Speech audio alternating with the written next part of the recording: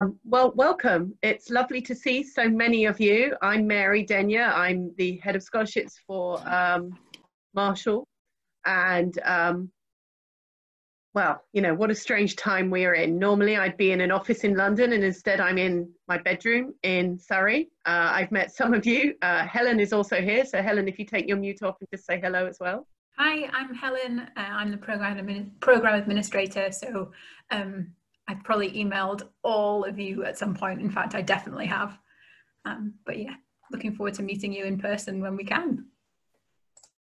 So first of all, I want to say thank you so much to all of you for your patience in this very difficult period of time. I know it's there's been a lot of uncertainty and sometimes I've not been able to tell you more than I know, and um, you know that has meant that there have been some times where I've not really been able to tell you what's going on because, frankly, we haven't known what's going on. Um, and we are finally getting a much clearer picture of the new year. And I'm really excited that you are all going to be able to come in September, and some of you in October, and a few of you in August.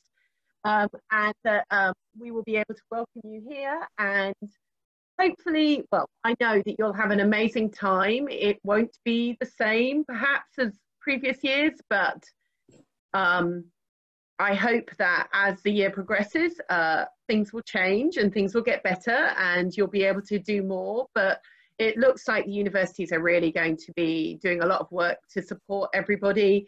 And we're going to do as much as we can and we'll continue to do virtual events. Orientation will be virtual. Um, and um, when I know what that looks like, I'll let you know too.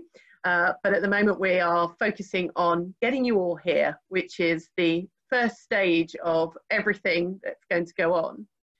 So today, I'm just going to give you an overview of our plans or of the plans that we know. Um, and then I'm going to talk a little bit about making sure that you're all communicating with us, that we're your first port of call for questions, and um, sort of just talk through some of the things and why we give advice for various things. And then um, we will, Helen and I will take questions. We will try and answer as many questions as possible. Um, and I know that some of you may not, may have lots of questions and we can always take them offline and well, they'll be online, but offline through email. Or, you know, if you feel that you want a conversation directly with myself or Helen, we can also arrange that as well. So Firstly, so as of today, I have organised, more or less settled your scholar circles. Um, Helen and I had a discussion about what we were going to call them. They were kind of called Marshall, um, Cambridge Plus and Oxford Humanities and all kinds of different things. So we're going, we've decided to name these circles after British castles and palaces um, because why not?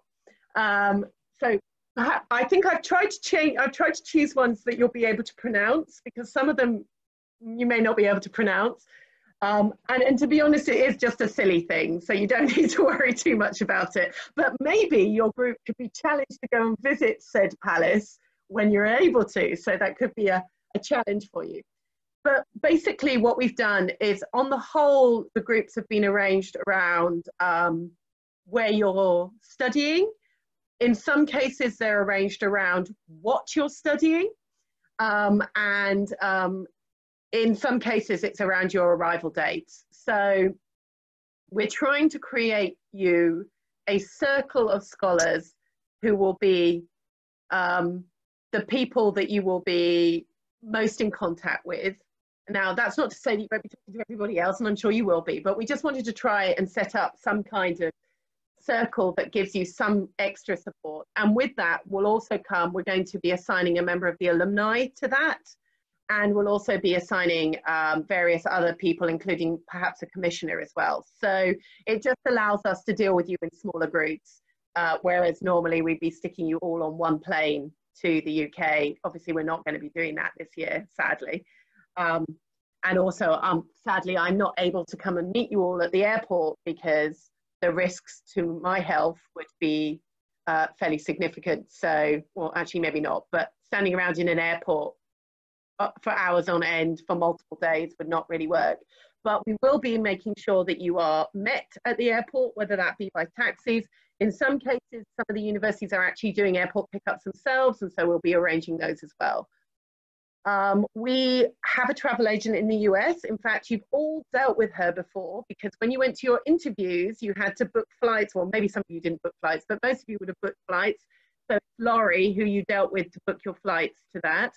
And um, we are just about finalizing um, what we think will be your arrival dates. And so I hope that I will be able to share your arrival dates with you beginning of next week. The reason we are humming and hurrying about it is because we need to make sure that the university dates aren't changing, that um, quarantine is, you know, how quarantine is going to work and all of those things. So we're going to be doing all of that. I'll let you know who is in your circle as well. And some of the fun things that we'll be doing in orientation, that will also be your team for whatever we do.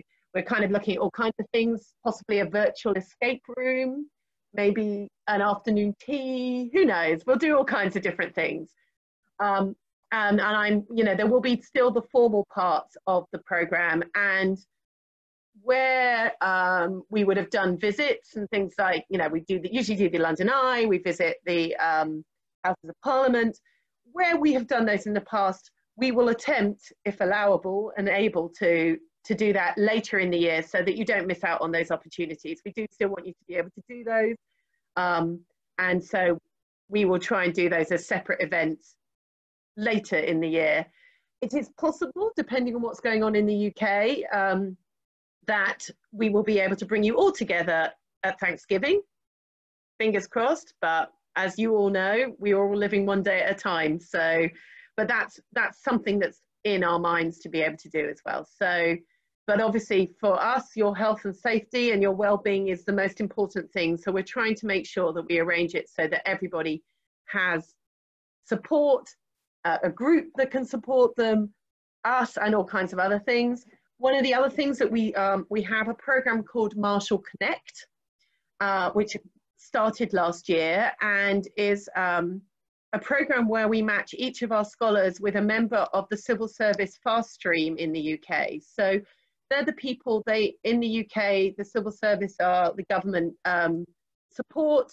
They're the people who have um, entered this a program to become leaders of our civil service in the UK and they work in all kinds of different departments and they come from different places and all kinds of interesting things but the great thing is that the, almost all of them if not all of them are British so we will be pairing you with somebody who's British so um, that's somebody else you can talk to about the oddities of the culture and the UK. And um, we hope that, that will, we will be able to get that sorted. Uh, the whole application process their end is starting, has just started.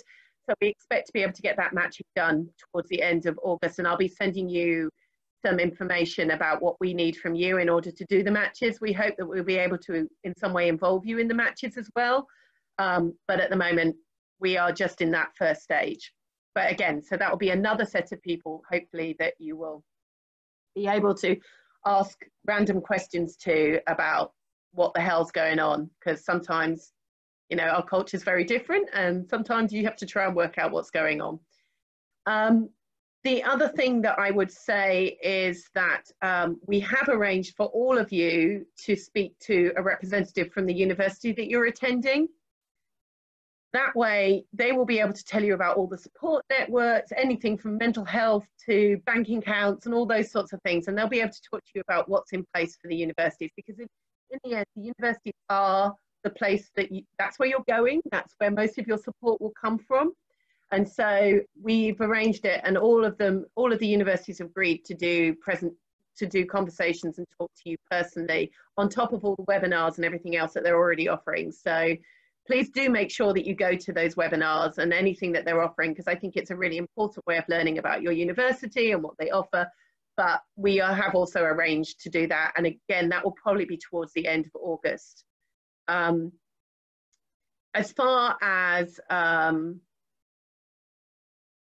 things like housing go, I know that some of you have heard from Helen about housing. I'll let her talk about it a little bit. But what I am going to say to you is that I realize that you've all been talking to current scholars and the current scholars are telling you all kinds of things. First of all, Helen and I are the professionals that run this scholarship. We're the people that know what's going on, how it works, we're British, we understand all kinds of other things. So please do talk to us.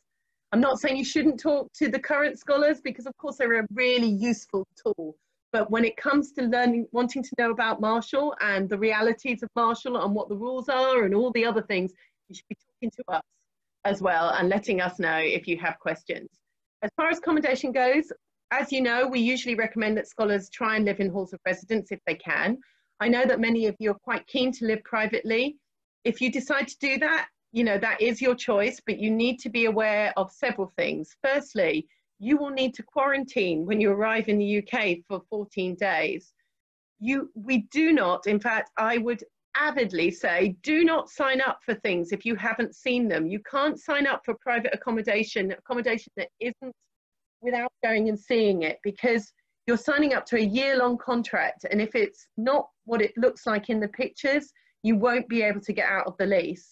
So just please, if you do decide you want to live privately, you need to think about what you're going to do, how you're going to arrange temporary accommodation during that period. Universities are all supporting quarantine. That means that they're delivering groceries, they're making sure people have food, all of those things. If you decide to leave privately, that support is simply not there. Um, obviously, we can help you sign up to grocery grocery ordering, ordering services. They are far more advanced than they are in the US. Or weirdly, I don't know why, but in the UK, getting getting your groceries delivered is a very easy thing, um, and it isn't just Whole Foods, so slightly cheaper as well. But um, just be aware that there are differences around um, the sort of private residencies if there were to be another lockdown and you decided to return to the US, most of the universities have reimbursed um, rent. They won't do that if you're living privately. So you just need to be aware of those pros and cons. Again, I am not saying you have to live in halls. You know, I understand that for some people, halls is not where they want to go. But we, if you do want that backup, or if you do think you might want to live in halls, then please get your applications through Helen in. And Helen, maybe that's where you jump in and tell, say,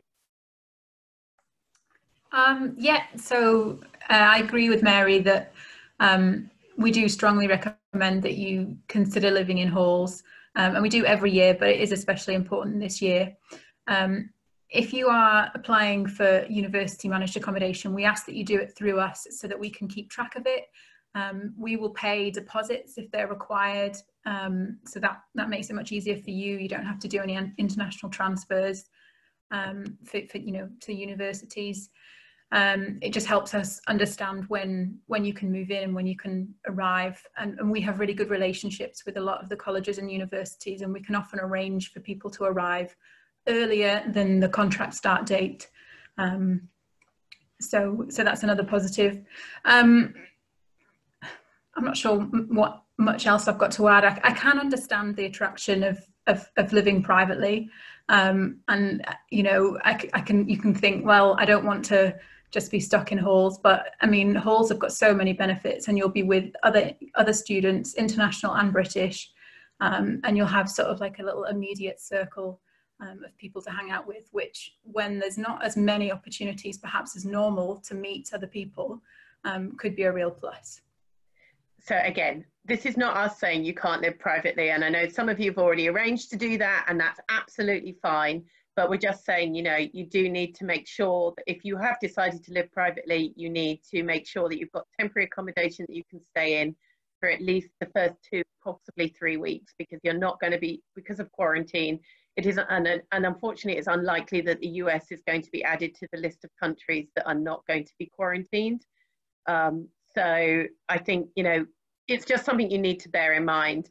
But if you do think, oh, well, maybe I will look at halls, you need to get on with it because the halls are being allocated. And if you want your choice, then you need to be doing it soon. Yeah. Um, and yeah, I mean, I, that's all we can say. We're not, I not, I'm not saying this is a bad thing if you live privately, but if you do decide to live privately, it would be helpful for us if you're living with current scholars, for example, it would be helpful for us to know who it is you're planning to live with just so that we have an idea of where you're going to be and who you are living with. Um, remembering, especially around London, the other thing to consider in London is that, you know, at the moment public transport is running, but people are being advised not to use public transport. So often private residencies in scholars who live in London live not in the centre of London. They live sort of further away, 30 minutes away from their campus by public transport. And, you know, if you like walking, then you're absolutely fine. But, you know, it may be that when you first arrive, it might be quite difficult to, um, to take public transport.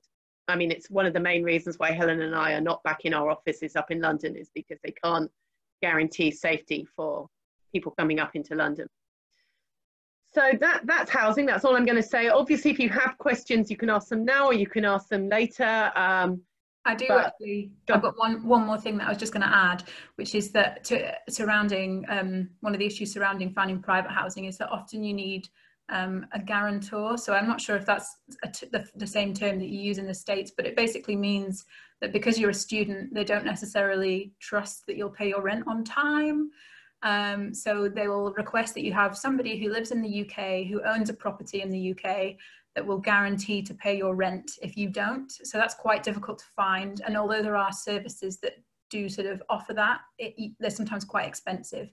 So you should just be really careful when you are looking um, into private housing, if that's something you're considering, that you make sure that you wouldn't have to pay six months run, rent up front because you don't have a guarantor, which is something that um, we have had scholars do in the past. And then obviously, then there's a lockdown and suddenly you've paid rent until July. And even if you've got a contract that you can get out of, all of a sudden you've already paid your rent. So, I mean, and the other thing is, if you are, if you, oh, as I said, we're strongly recommending that you do not sign any contracts before you arrive in the UK. But if you have contracts or if you've had somebody go and look at an apartment and they've said it's fine, then, you know, and you want to just double check it with, I mean, Helen rents so or has rented in the past. So I am no longer a renter. I've just bought a flat, so I resent that, Mary. I do not rent anymore. She's just bought a flat. But in the past, I have never rented, so therefore, by definition, Helen is more of an expert at looking at these tenancy agreements. Okay, yeah, I'll take that. that That's might, fine. Spotting something that might cause you a problem. So we will try and help where we can. So just, just so, just so you know. Um, on other things, um, I mentioned in my email about. Um, does anybody? Maybe I should pause. Does anybody have any questions? You don't have to put them in the chat. I suspect that. Um, I mean, there are there's 34 of you here, but I'm guessing that you won't, well, you might all try and ask um, questions at the same time, but.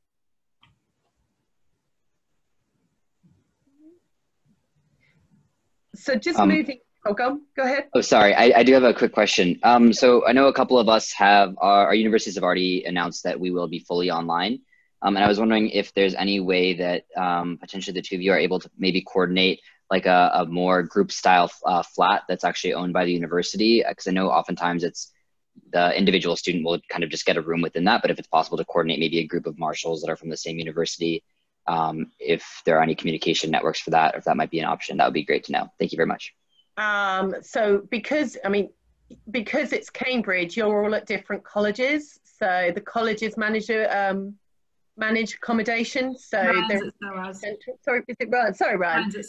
no, sorry. Looking at this, I, I should put my glasses on. Sorry.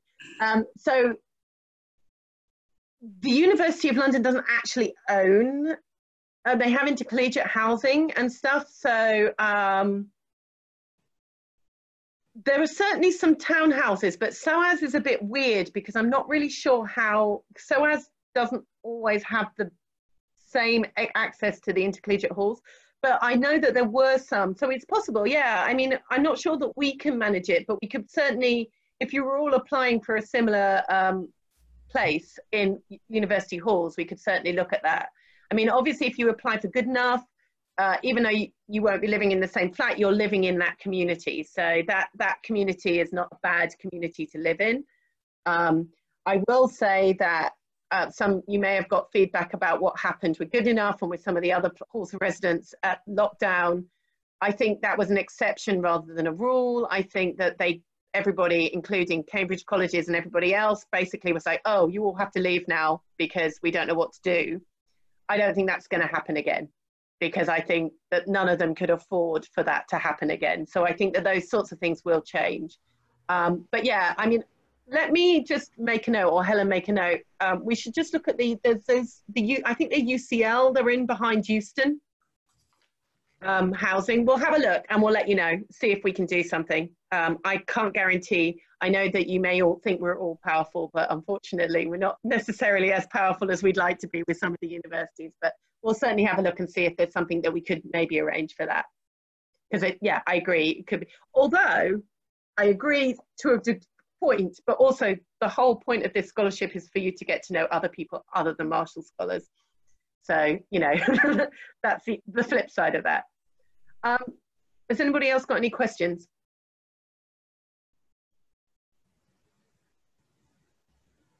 No? Okay, as I said, you can always email myself or Helen if you do have questions. We're always happy to answer.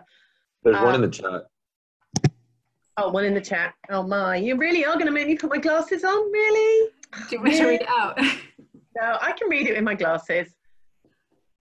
So the question is, with the quarantine period, do the recommendations for packing change? I'm not sure if there's any new different way that we should need to make sure we have in our suitcase. Okay, that's a really, no, I think that's a really good question. It was what I was about to move on to. So, um, so it's around packing and what you bring. So um, I know I said in my email that we're really recommending this year that you use um, our shipping container because mostly because unlike in a normal year, what happens is there's a bus that comes and then it has this massive trailer behind it, which basically fills with the many, many bags and musical instruments and everything else that all Marshall scholars bring.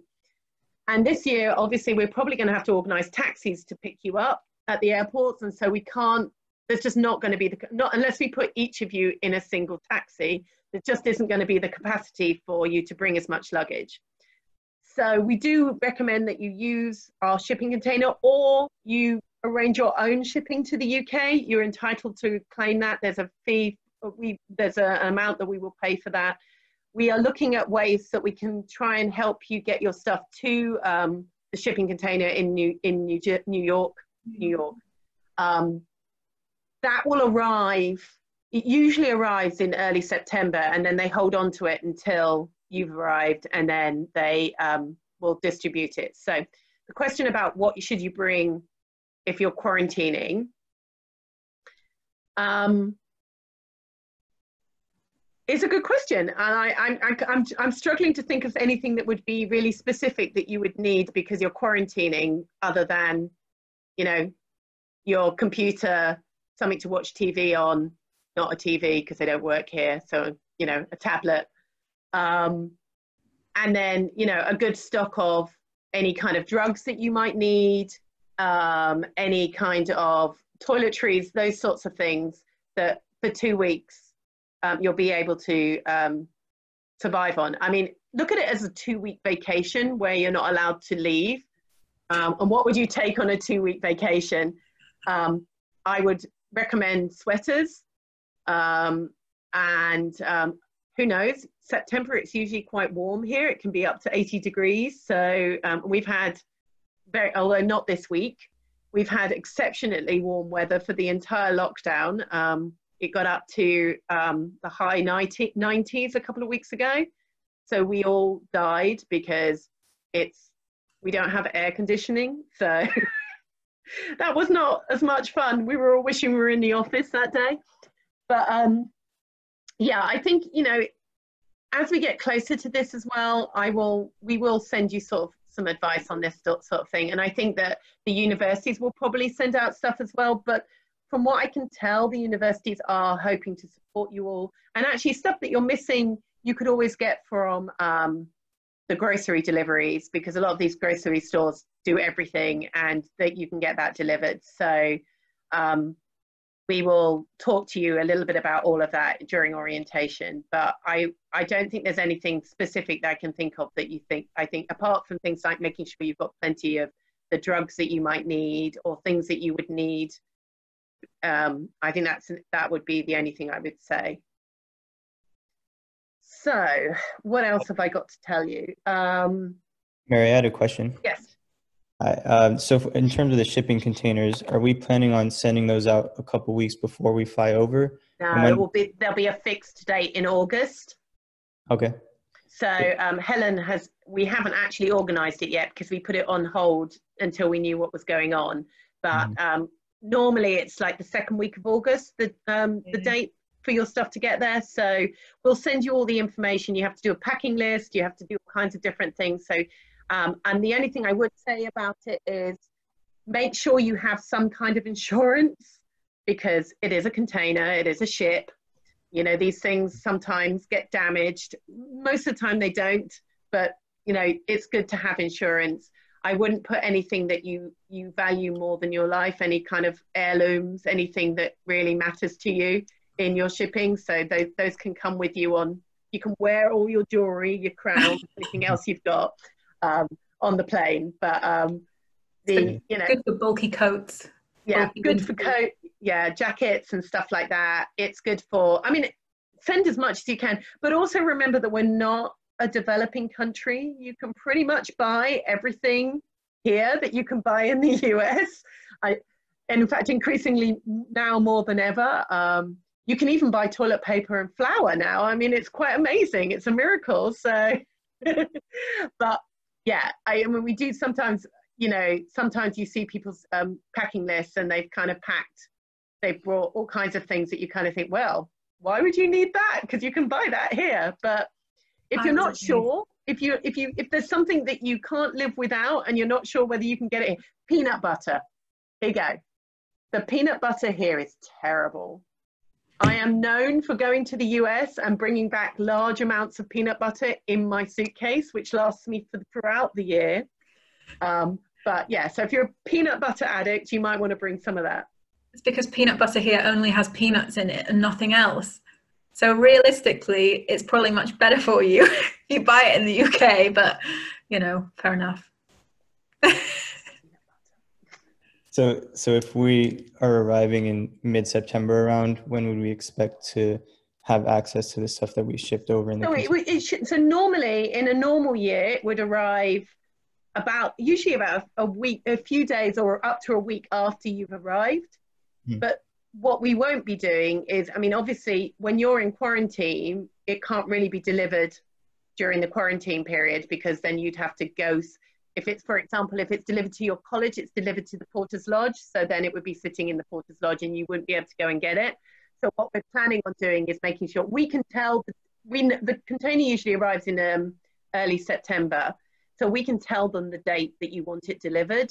So we can do it that way, so that you know the day that you are released from quarantine and free, you you know your stuff can arrive, and then you can sort it all out. Then, All right, thank you. Any other questions about that? Uh, I had a uh, question. Sorry, yeah, I had a question regarding flights. Um, Mhm. So I'm going to be in South Korea for most of August, Mhm. um, and I is it possible for the flights to be arranged maybe up, to a certain price from like Seoul to London, or does that does it have to be from the United States? Because then I'll have to buy plane tickets back to the U.S. and then have to quarantine. But you're going to have to go back to the US anyway, probably, because you're going to have to get your visa. the visa Oh, interviews right. are done here. They can't be done in like embassies No, anywhere it has to be done in the country that you're resident in. So you're going to have to return to the US to get your visa anyway. Right. Okay. So that and that's probably a good point to move on to the dreaded visa stuff anyway. So the answer to the question is if you had your visa already, we would reimburse you up to the amount that um, we would have paid if we'd been flying you from your hometown to the UK. Okay. So in that case, we would ask you to organise your own flights and then reimburse you. All right. But as I said, there is all kinds of visa implications. So, visas. So, first of all, I have to say that I am a qualified immigration advisor. Any advice that I give you here is only based on the information that I have to hand um, and is not detailed. Um, you have all signed client care letters. Um, any detailed advice that I will give you will be accurate and will be according to any of the laws in the UK. Right, that's that bit done um, because it's illegal to give immigration advice if you are not qualified. So actually, Helen is not currently qualified. She's working at it. She's going to be soon, but um, she isn't qualified at the moment. So I am the only qualified immigration advisor. This also means that if any of the current scholars have given you immigration advice, they are doing it illegally, and you should disregard any advice being given because it may not be accurate. Uh, I'm sure none of them have because they have been told that they mustn't give you immigration advice, but just in case you've been told one thing or another. Um, so the good news is, is today I saw on the um, VFS website, which is the people that do the biometrics in the US, that they are reopening and that hopefully by the end of the month, all the passport offices in the US will also be reopened, which will allow you to actually be able to apply for your visas. This is one of the things that's been keeping me and Helen up at night is the fact that we might be able to get you here, you might be allowed to come here, but without a visa, you're not allowed to come to the UK. Now, visas, getting visas, I have no idea how difficult it is going to be this year, how slow it's going to be, what the, how difficult it's going to be to make an appointment to get your biometrics. We have a special arrangement with the government around getting your visa. The visa is free, you don't pay for it, you get a waived visa, you get a waived um, NHS tariff fee, so that's great for you. That means you get free healthcare. Yes, free healthcare um, in in the UK, and that will all be paid for. So that's really good news. But um, you do have to give your biometrics. We get an expedited visa, which is usually takes between five and 10 working days. You cannot travel to the UK without that visa. You cannot travel to the UK as a tourist and then try and change your visa. You cannot, um, you have to submit your passport in order to get your visa. So there will be a period of time where you will have, a, you won't have your passport. Now, obviously, some of you may have two that's fine. If you need to travel on a second passport whilst you're applying for your visa in, for the UK, that's fine. Whilst you are resident in the US, you have to apply in the US um, and you will need to wait until you have your CAS from, which is the CAS, we call it a CAS, uh, from your university before you apply. When you do get your CAS, you need to wait for us to provide you with your visa pack because your visa pack has your confirmation letter it has all kinds of things that you need in order to apply. And we also have very detailed guidance on how you're supposed to complete the application form. So please, please, please do not try and do this on your own. Uh, if you get it wrong, it's really hard for us to undo. If any of you, I don't think, I think now none of you have spent any time in countries more than six months in a country that um, requires a TB test and haven't been back in the US for more than six months. So I think you're all fine now. If you're not, I sent that information out quite a while ago. If there's somebody here who thinks that maybe they aren't, that they might need a TB test, please let me know because you can't actually be tested in the US, weirdly. It's a very strange thing. Um, also, if anybody has any kind of criminal convictions, you need to have told me. And if you haven't told me, you need to tell me soon. If any of you have DUIs, um, traffic stops, any of those sorts of things. And some people do, maybe not the DUIs, but the traffic stops and stuff. There are things that you will need to declare on your application. You should declare them. You shouldn't worry too much about it, but they have access to the various databases. And if you don't declare it, it could be seen as an omission. So if you're worried about any of that stuff, please do tell us um, and we'll give you advice. We can also notify the people in Sheffield who are doing making the decisions on visas and saying this person has this, is this okay? No, no, you know, it's it is usually fine, but we do need no surprises. Also, those of you who have middle names, I know there are a lot of you with middle names. Please make sure you put them on your visa application as it appears on your passport because Otherwise, your part, your application may not be valid. And then Helen and I have to write a letter saying, even though this person says that they are John Smith, they're actually John Adam Smith. Um, so um, I know that we asked in your application originally that you list all your names, and some of you didn't, and that's fine. So maybe you're maybe you hate your middle name. I, am not really sure, but um, or you've forgotten about it. I really don't know. But also, we also know that sometimes your passport name is completely different to your actual name. Not, again, this is one of our confusions here. In the UK, your passport is your definitive ID document. In the US, it's not so, not really the case. So we've had people with variations and spellings on their last names. We've had people who have middle names in some places or five middle names and then only two middle names. It's you know, a variation of all kinds of things. Sometimes they just can't fit it on fit it on the passport. So just make sure that when you're filling out your visa application, you use the names as they appear on your passport. Um, have I forgotten anything? I should probably say, so what you're going to get when you get your visa is a 30 day, what they're calling a 30 day vignette. And basically, as soon as you enter the, U you have to enter the UK within those 30 days. So don't panic when you get a vignette, a sticker in your passport that only is a month.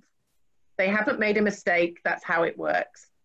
Once you get to the UK, you'll receive what they call a BRP, which you'll pick up probably from your university, although it may be mailed to you this year. I'm not really sure how they're going to work that. Um, and you um, will get this is your actual visa and it will have the full duration on it. Before you arrive, you must send Helen and I a copy of the vignette, the sticker in your passport, and also a letter. There's a letter that you get, which we call the decision letter. So you need to send us a copy of that as well, because we keep a record of that and it helps us. If anything's wrong, we can spot it and get it fixed before you come. So all of those things um, are really important. Um, is it, if you haven't told us that you have another nationality and you hold another passport, or if you hold an ID card from another country, please do let us know that as well. I think we know about everybody, but just in case it's a secret and you don't want to tell us, but we kind of need to know so we can just make sure that there aren't any problems in your application. Does anybody have any questions about?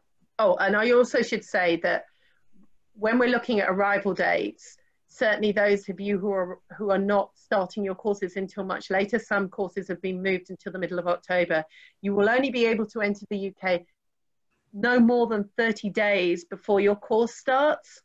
So that will be whatever happens that will be if you decide you want to arrive in the uk earlier than the two weeks before your course you can only arrive two weeks before uh, 30 days before your course starts just so you're aware does anybody have any questions on that?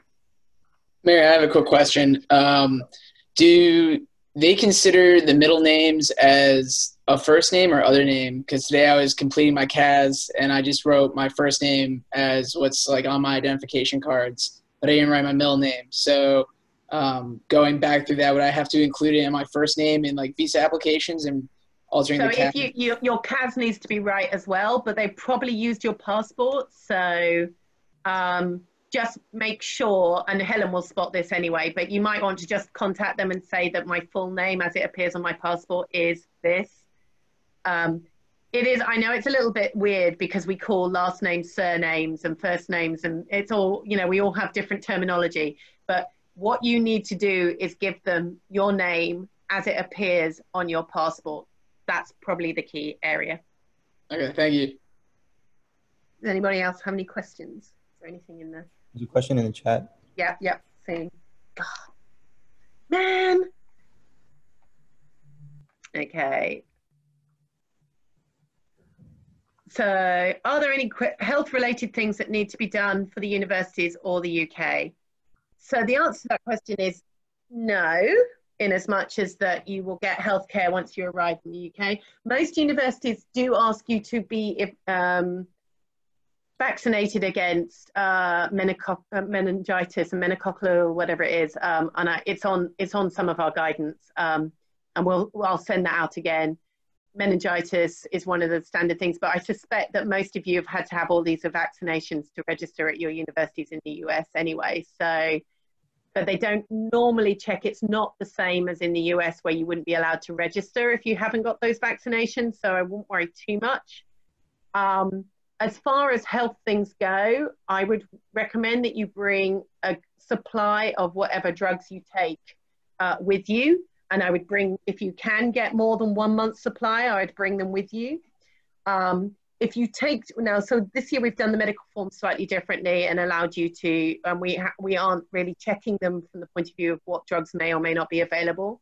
If you're not sure whether your drugs will be available in the UK, then you know please feel free to um, let me know and I will we have a medical awards administrator so I can ask a question about that some drugs are called different things a lot of this you can find out by Googling, um, but just be aware that things may be called different names. It might be slightly different. Ladies, your contraception is free. Woohoo! So if you take the contraceptive pill, um, it is completely free in the UK. You don't have to pay for it. So that is good news for everybody. Um, and you can, um, but you may find that you have to change the type that you take just because the the brands change from different in different in the different countries. So you may need to watch out for that. Uh, for all other prescription items, you pay nine pounds something per item for anything. So if it's prescribed by a GP in the UK, which is a general practitioner, a doctor, you will pay nine pounds sixty. Is it? I don't know because I don't pay. Not because I'm doing anything illegal, I should add. um, but it's um, about. Oh yeah. Why am I asking Helen? Helen never takes any kind of prescription drugs either. So, um, but yeah. So it's about nine pounds sixty, I think, per item, and most doctors will give you three months supply so you won't have to worry about the kind of monthly stuff that happens in the us often. So you will get three months supply. But again if you're worried about a drug that you take that you think you might not be able to get in the uk um, you can have your drugs shipped here. If you can get your parents to arrange to get your prescriptions and get them sent here you can do that too. Um, there are some drugs around um, so stuff like um, adhd medication, some drugs where anxiety medications where they are differently prescribed in the UK to the US. And that means that in the UK, they are often considered not to be long term drugs. And so, in certain circumstances, that might happen. And again, if you're worried about something, just email myself or Helen. We'll keep it completely confidential. Um, we may consult with our medical awards administrator, but we'll be able to let you know what whether whether it's available most of you, in fact, we will advise all of you when you arrive in the UK to register with a GP, a doctor, uh, so that you have someone. And if I think in this time of COVID and everything else, that's probably even more important. A lot of the campuses have doctors. Please pay attention to the doc. You know, if there's a webinar on health at your university, make sure that you attend it and find out where it is. As far as mental health stuff goes, um, there is support on the NHS, but it's oversubscribed and so it sometimes can be hard to access. The universities themselves do also offer mental health support, but again, sometimes that's hard to access. So if you do have a therapist in the US that's willing to continue to see you online or um, you know virtually, then that might be a way of just touching in if you do feel that you need somebody to talk to. Um, but we will try and do everything we can to make sure you do get the mental health support that you need. We have information about where, where which, what's available at all the universities. And again, you're going to be talking to the universities yourself. So hopefully they will also be able to give you some more advice on that. The Marshall Commission is not responsible for looking after your mental health. Uh, but obviously, Helen and I are both here. We are always willing to talk and chat to you and listen and signpost you to different places if you need it. So, you know, that is always there. And we can't help you if you don't tell us. And I think that's probably one of the things I will continue to say is that if you don't tell us about things that happen to you or that are problems, you know, we can't help you if you don't tell us about it. And generally, you know, we can help in one way or another, or we can point you to someone that can help. So, you know, do please keep, we're not scary people anything you tell us will not impact your scholarship. Um, very rare that we terminate a scholarship. In fact, it hasn't happened in a long time, and that's usually because of bad behavior, people doing things that have brought the scholarship into disrepute. So, you know, there's very little that you can tell me. I've been doing this 19 years. There's very little you can tell me that I haven't heard before. So, you know, please do feel safe um, to talk to us. We're not scary, I don't think. Sometimes people say I am, but you know, I don't think I am.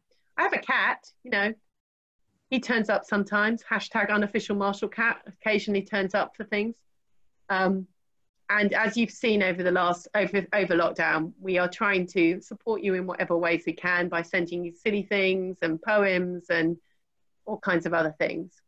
So, does anybody have any questions on health issues? And let me check chat just see if there's anything else. Uh, uh, Okay, coronavirus. No, you don't have to pay. So, what happens if you get coronavirus in the UK? Well, uh, if you get coronavirus in the UK, you can apply for a home test to confirm that you have it. You will have to si- isolate for uh, 14 days.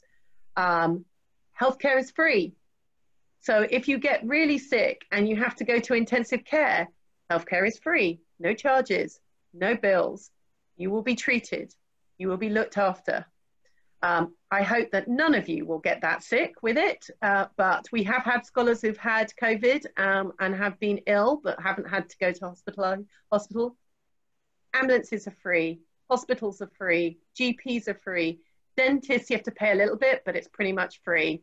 Prescriptions, nine pounds per item. So this is a social, socialist healthcare system. Everything you, all of your healthcare, except for things like some mental health stuff where you pay you might have to pay private um, if you decide to go private if you decide to use a private um, healthcare system then you will have to pay for that. But the nhs is actually a pretty amazing system. They coped incredibly well throughout this pandemic. Um, you know we're all so proud of them and you know it is a great health healthcare system. It has its faults but so does the us system. You know it, it isn't perfect by any means but you will always have access to healthcare. And for covid there is a call a line that you call. Well it's a general line uh, which is 111 the opposite of 999 which is what you dial for an ambulance. But if you dial 111 you will get a medic uh, qualified medical um, professional and especially at the moment when people are showing symptoms of COVID, they're told to ring that line because obviously they don't want people turning up at hospitals. Now, those of you that come from states with mandated masks, at the moment, the UK is not really masking up.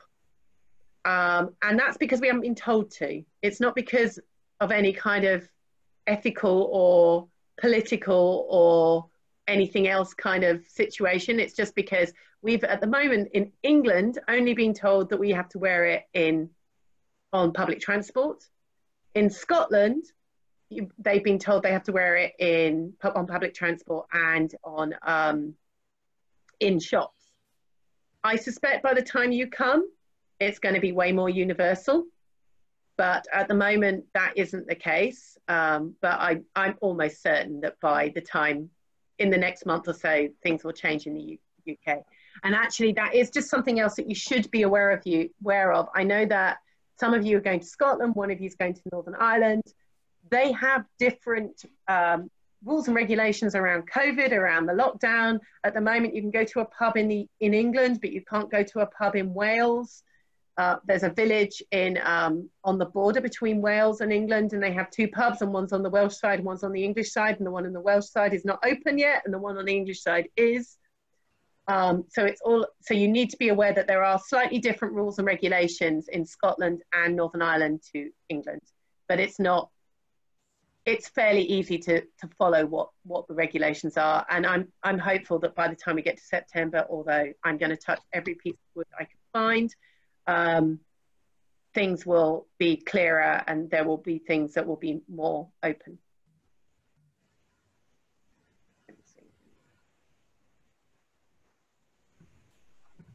Yeah.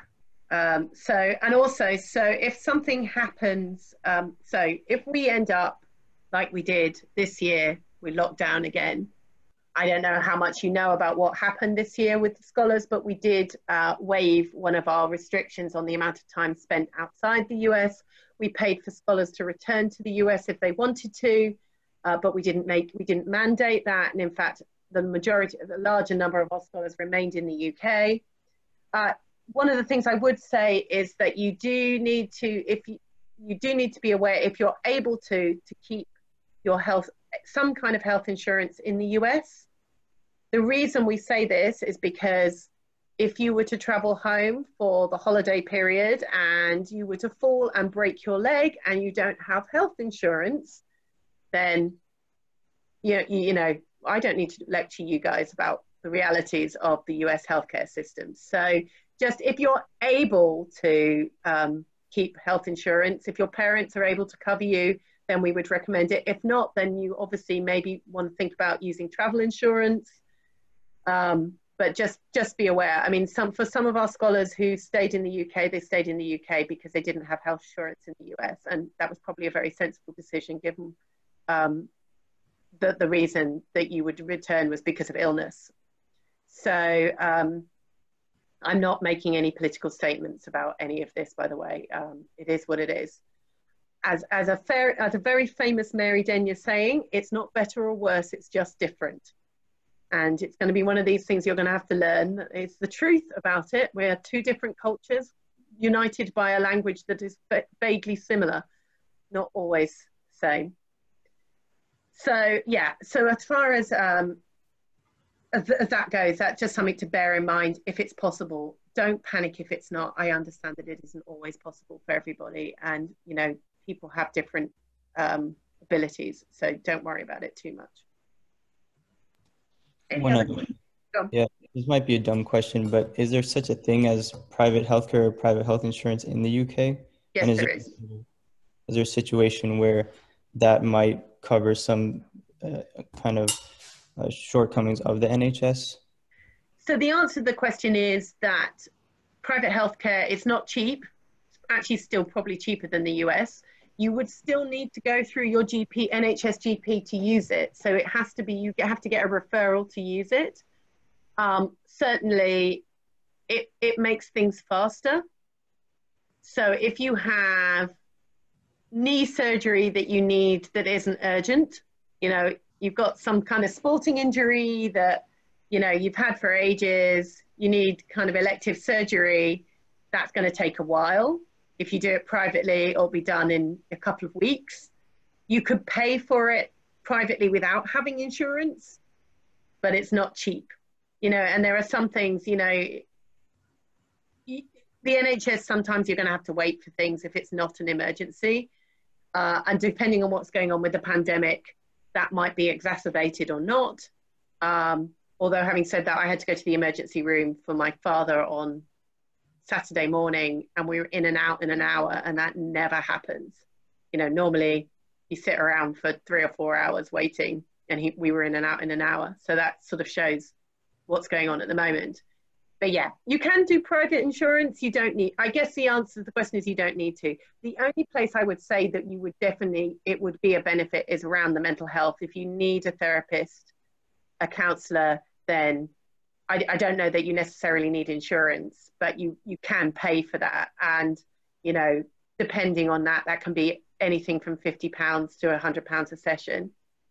Um, but, you know, I, you know, hopefully none of you will need that. But yeah, I, I, I, don't think you really, and in fact, I don't think you're actually entitled to a lot of the private health insurances in the UK, much of the same way that if I moved to the US, I'd only be able to apply for certain things as a non US citizen.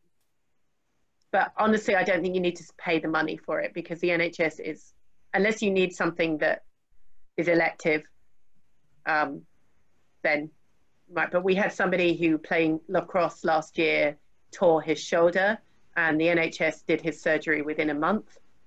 So, and it was all free, which is my refrain. It's all free. All right. Thank you. You're welcome. Any other questions on that? Since you mentioned travel outside of the US and UK, I was wondering if, uh, and I know this might be contingent upon a lot of things that nobody can really quite predict yet, but I was wondering if travel from the UK to the EU would be restricted anyhow because the US has been kind of on the do not come list. And if, say, we presented our passports at the border, if we'd be stopped or something. I think Helen has the answer to that because she Googled it today. Oh. so, um, as you would have a, like a, a longer term visa in, for the UK, you would be um, exempt from from that. So because you wouldn't be traveling from the US, and you would be able to show that you were living in the UK, um, it would be okay. You would not be banned. At the moment. At the moment, yeah, that could change. I mean, to be fair, Stephen, it's more than possible that by January, none of us are going to be able to travel to Europe either because we're not going to be part of the EU anymore and we're all going to need a Schengen visa. So, you know, we might all be in the same boat. who knows? But at the moment, as a US citizen traveling to the EU under the regulations around um, the lockdown, you'd be fine. And also just to say that we will be reimposing our regulations around the amount spent, amount of time spent outside of the UK, um, unless there's another lockdown, uh, unless there's an, another emergency. At the moment, the intention is as of the beginning of your tenure, you will be allowed 30 days on stipend outside of the UK for personal reasons. Um, and then there's some there's another allowance for um, if you need to do it for academic reasons. But obviously, with travel and everything else, we're going to be sort of saying to you, do you really need to do that travel? Uh, obviously, we're not stopping you from going and seeing your families and everything else, and you can organize your vacations and stuff. But your vacations are going to take longer because depending on quarantine in whichever state you happen to be in, and you know increasingly complicated about whether you can fly through one state or another you know that's all going to bear in mind. The other thing we also would say to you is just watch out. If you are booking flights for yourself in general. Uh, we've noticed a lot of cheap flights certainly from the west coast that go via canada. This is a problem. You're not allowed into canada at the moment. So you can't fly to a canadian airport and then fly to the uk so just be aware that that might change but at the moment, Canada is not letting US citizens, unless it's essential travel, into Canada. So you can't fly via Canada. Um, I also am very aware that you haven't had your new handbook, and that's because Helen and I need to rewrite it because we needed to wait until we'd made a decision about. There was no point us sending you a handbook that said you'll all arrive together at the same plane on the same day and do this, this, and this. So we are rewriting it. We hope to get that done in the next week or so, don't we, Helen? Even though we haven't talked about it. Yeah. Um, and then we will. We, then we have to get it designed and published and made look pretty, and then we will send it out to you. The majority of the rules that you have already seen in your handbook that we sent you, the one for last year, will still apply. We're beefing up the code of conduct. We will probably be, we're going to be trying to include some information or actually some training within the orientation around respect, about selection sexual harassment, around um, equality, those sorts of things. So just be aware that we will be doing that and we will be beefing up the code of conduct to make sure that, um, and we will be asking all of you to sign up to those things because it's a very important part. We're also adding a social media policy into our handbook as well. And again, you'll need to pay attention to that social media policy. Uh, we are not trying to infringe any kind of First Amendment rights, but um, obviously there are certain things that we would prefer you not to say in social media that would bring this might bring the scholarship into disrepute. So um, that that's an important aspect of it. Does anybody else? No. So I'm. I mean, any questions on anything? And there is no such thing as a stupid question. Yeah, I have a couple of questions. Oop, You there's go, a Crystal. Okay, awesome, great. And I'll also um, post them so that people can see what I'm asking. Great. So, as the folks who are definitely prof- professionals on the realities of the Marshall Scholarship, I had some questions about just the current time that we're in as far as protests and things. So, first, I would love to know if there are any specific anti racist actions in motion on the Commission's end. Um, and then, secondly, I would love to know the policies and thoughts as far as scholars protesting and using social media platforms to advocate for social and political change. So there's no restrictions at all apart from not getting arrested, preferably. Um, so no violent protests. But as far as if you wish to protest, you are. There are no restrictions. We, I mean, obviously, we prefer you didn't march with a banner that says Marshall scholarships on it if it's a, an anti-government one, given that the government is paying for your paying for your scholarship. But on the whole, no, there are no restrictions. As far as what the Marshall Commission is doing, um,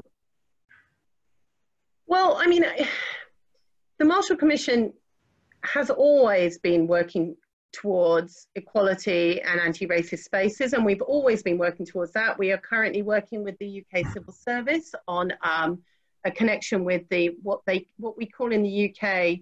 Well, I don't call it this, but this is the official terminology, BAME network, uh, BAME, which is for the minority networks in the civil service. And uh, we currently have a group of scholars and a group from that network who are working together to create a program for that.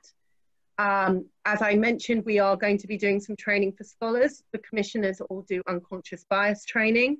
All of our committees, all our selection committees do unconscious bias training.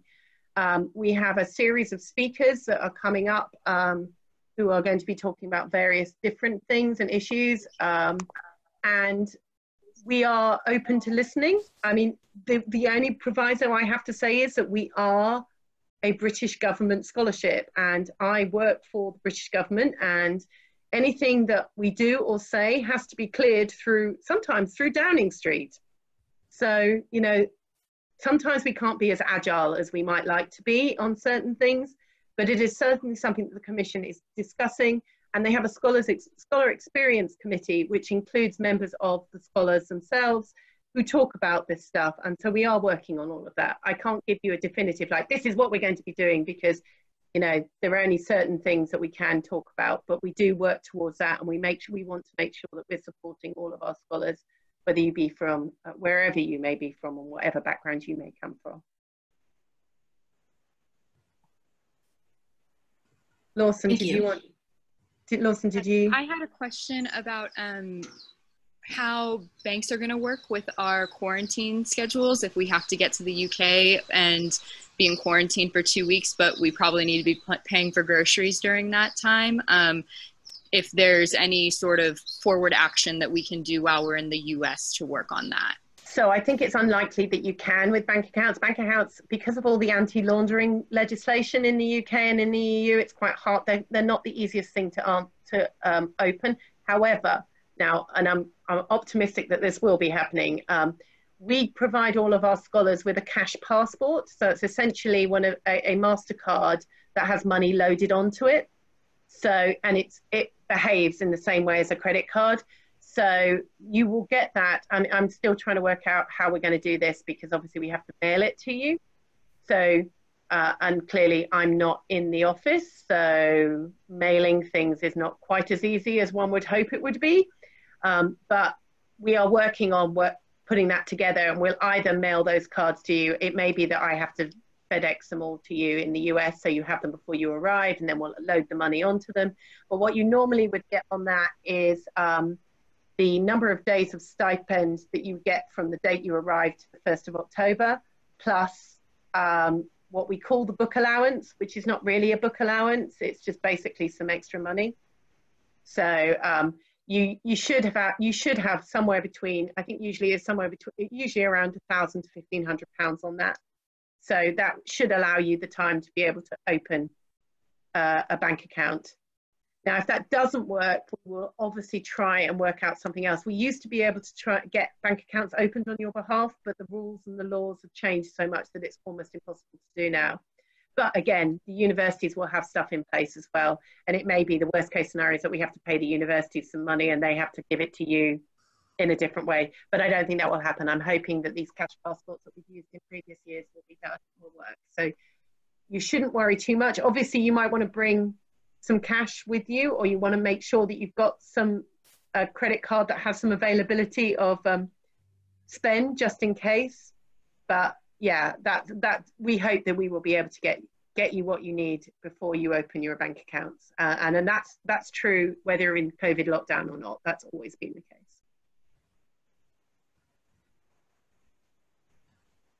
any other questions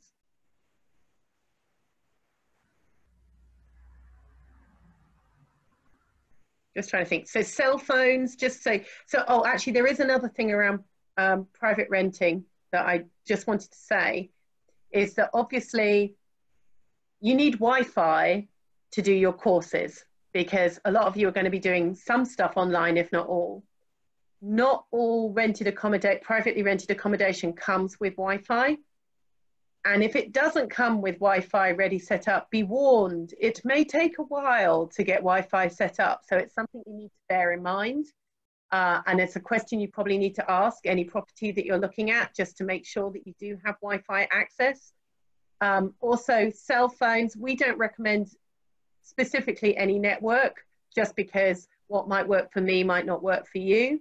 But I, this is one of the things that current scholars can definitely sort of recommend different um, what networks. Obviously, most of you now have you have smartphones. If you have locked smartphones, you might want to make sure that it is unlocked when you arrive in the UK, so you can because you can buy these pay as you go um, SIM cards, or actually a lot of them are actually free, and then add money onto them, and then you know you can use that temporarily until you can get a contract. Cell phone contracts are significantly cheaper in the UK than they are in the US. Um, I pay sixteen pounds a month for unlimited text calls and 10 megabytes of data. So, and I mean, you could pay 20 pounds a month and be unlimited. So, you know, it is very different to the costs that you may have encountered in the US. I know some of you have whizzy ways of using Google to forward your US phone number to your regular number. Um, and all of those things will be valid, although I think we've all just basically lived like this on Zoom and Teams or whatever other Hangout you might use. But yeah, so just be aware if you do decide to live privately, you'll need, and, and they don't already have Wi-Fi, you're going to have to sort that out. And it isn't something that's going to happen in 24 hours. It may take up to two weeks to sort out. And you can also, with SIM cards, you can also get them sent to you as well. So hopefully, uh, I, what my recommendation would probably be is that when you first arrive, you sign up for one of these free pay as you go SIM cards just to keep you going until you're able to escape from quarantine and go look and buy and buy the right whatever you want to buy. Anybody else have any other questions?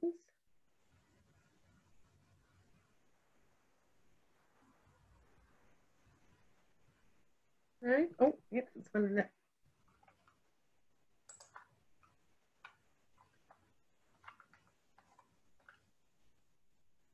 Uh, so somebody is asking around um, what categories groups might be expected to depart earlier or later in the original mid-September date.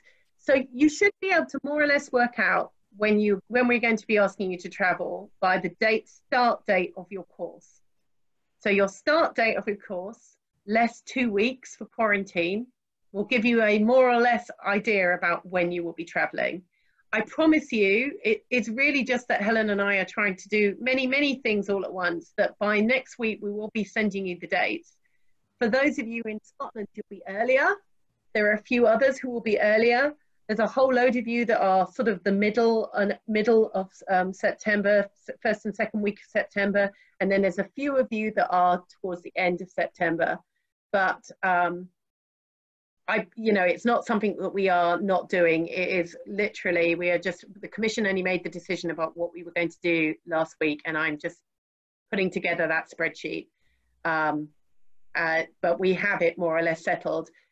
But the proviso is things might change because the universities might change. And if the universities change something, then we'll have to change you. As far as flights go, if your flight gets cancelled, we've been seeing some of that happening um, the travel agent will deal with that. So you won't need to worry about sort of trying to change things. A lot of you are going to have to travel some via somewhere. Um, there are only flights from certain places, and so you we may need to get you to travel from somewhere to somewhere before you can travel to the UK. Um, we've noticed that, for example, Houston, not that anybody lives in Houston, but Houston doesn't have any direct flights at the moment to the UK. So it's only certain cities that actually have direct flights. So just be aware that we may have to, much as I'd love to fly you all directly, we may have to fly you via different places. Those of you who are going to Yorkshire, into the Yorkshire University, will be flying into Manchester um, because it's closer. There's no point us bringing you into London and then you having a five hour drive up to four hour drive up to, I mean, in American terms, that's like place that you go to lunch for. But for, for the UK, that's a long way. So, um, and those of you who are flying to Scotland, it is possible that you will be able to fly directly into Edinburgh, but it's probable that you'll have to fly via London and then up into Edinburgh. So it may be a two stop flight. Uh, I'd love to say that it won't be, but we've got to get you to the places that we need to get you to. Um, so we will do what we can uh, we will arrange taxis for you. We will do all that we can to make sure that the um, arrival is simple. Um, you won't be using public transport unless it's absolutely necessary. Um, and obviously one of the things during orientation, well, we, we will talk to you about, you know, using public transport and all the other things that we would normally talk to you about, buying train tickets and stuff and other things. So, you know, just be aware that that's, um, that's in the, in the pi uh, pipeline. But as I said, it may be that by Friday, we'll be able to let you know when, um, when more or less when your flight date is, because Helen and I have actually done quite a lot of work on this over this week, but I just don't want to tell you a specific date and then have to come back to you and say, actually, it's going to be later or earlier. But we're beginning, some of the universities are, I think universities are putting in their dates now and, and finalizing those. So we hope that that will be as much as we can. We can't force them to do tell us more information than we have, much as I'd love to. One day I will be the ruler of the world, but until today, until until then, I'll be the ruler of Marshall, and that's about it. Or actually, maybe the ruler of my cat, although he's just walked downstairs, so I'm not even the ruler of him. Sorry, because it's dinner time. Anybody else got any questions? And actually, the other thing is, if you've got ideas of things that you'd like to do during orientation, virtually, clearly, but virtually, if you once we assign your groups, if there's things that you think the groups find fun or you'd like to to ask to see if we can do, then do let us know. I can't guarantee I'm going to be able to do it. Um, there's only there's only Helen and I and Anna working on Marshall, and we've got a huge amount of stuff going on. But you know, if we if somebody comes up with a brilliant idea, we will happily try and facilitate that. We are we know that the British Embassy in Washington will be participating in the orientation. We hope that the British Ambassador will join you for um, some kind of event. Um, and there will be other things. We're hoping that we can arrange some tours of places virtually. Uh, so hope some of you I know attended the tour of the V&A Museum in London, which was fun. You know, true night and a night at the museum. And so we're hoping that we'll be able to do some other stuff like that as well. And as I said, virtual escape rooms. Who knows? I don't know. Though, I don't think I have the capacity to do a quiz, but we might be able to do some kind of escape room and other things. And things will be set over the two weeks, probably the last week of August, the first week of September. There will be some stuff, that, and there will be some, there may be some stuff in the original arrival week. The Foreign Office wants to organise some workshops that they do normally in person, so they'll probably do that as well. Um, but we hope that there will, it will be maybe not. Well, actually, I tell you what, you won't be as tired as you normally are in orientation uh, and the only other thing I would say is I don't know whether anybody has talked about the retreat that the scholars normally do, but given the circumstances this year, if anybody was vaguely even thinking about it, I would strongly recommend that you don't. Uh, a group of Marshall scholars in the mountains in Virginia, all together coming from all kinds of different states, is just a recipe for disaster um, from the point of view of COVID.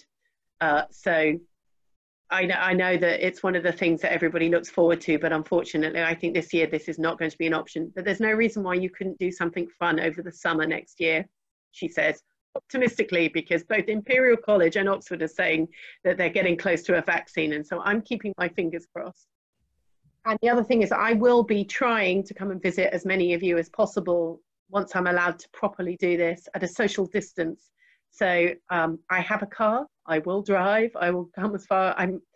Um, I may not be able to come all the way to Scotland, but we do have some wonderful people in Scotland that will also be able to meet with you, and we are going to try and do as much as possible. Also, the other thing I didn't, maybe I did mention it, but we are going to um, arrange for you to talk to some of our commissioners as well, and that might be done through our circles as well. And if you hate the word scholar circles, if you can come up with another name, that's fine. I was going to say bubbles, but that seemed to imply something else where you all live together in a bubble. Uh, so circles it is. If you hate it, you know, if you want to come up with a another name for them, you know, I'm happy to change that. I had to use a thesaurus to come up with circles. So that's how sad my life is. Anybody else got any questions? Oh, no chat. uh, if the coronavirus dies down, would the 2020 Marshalls be able to potentially get together in DC next year? I think the reality is that given that you're supposed to be in the UK, the answer probably is that wouldn't be possible. But there's, if I, you know, in the long term, I don't see why we couldn't try and organise something for the end of your scholarship in DC. So I'm not making any promises, but I am being recorded. So, you know, you can always point to this recording in two years' time and say, but Mary, this is what you said. So, you know, something that the alumni might organise. So um, I, I don't think it's completely out of the question. I just can't, I can't think beyond the next few weeks, let alone the next two, one or two years. But we will try and do what we can, and we will try and make sure that you don't miss out on some of the things that would have traditionally been part of our orientation, except for the exhaustion part, which you won't have to do, which is good news. Any other, oh, we do hope there will be the Marshall dinner next year. I've booked it. It's already booked for next May. So we're hoping that that will happen. It didn't happen this year. So I was able to book it for next year. So that's where we bring in a whole load of guests and all the Marshall scholars come to it and some alumni. Um, we're also going to try and connect you with some of the UK alumni as well. There's some amazing people here. Some of you who've been um, following the Hangouts will have seen Steve Brusatte in Edinburgh. The good news is those of you at Edinburgh, once everything is opened up again, he will he has invited you to all go and visit his lab and see the dinosaurs. I'm not sure they're real ones, but who knows. I never know with Steve. I mean, he is working on Jurassic Park at the moment, so you never know. That amber may be being developed just as, as we speak. Um, but yeah, so we will be doing what we can. And again, we're here. Um, and if you need us, you only have to ask for our help and we will do what we can. So I guess that's all I all we can say and do. But you know, we we are here to support you. Um, I've been doing this a long time and there isn't much I've seen haven't seen, but please don't try and create something that I haven't seen just for the hell of it. But um, we are always willing to try and help. And if you just want a conversation, um, you know, happy to just chat. Um, I'm a historian. I'm an American Studies major. I lived in South Florida. I went to the University of South Florida, Tampa Bay. I did Sunbathing 101, Lying by the Pool 101. Oh, and some other courses as well. But yeah, so, you know, always happy to chat. Has anybody else got any last questions? I think we're probably, I've wittered on in the words of um, true British phrase, for far too long. Has anybody else got any questions?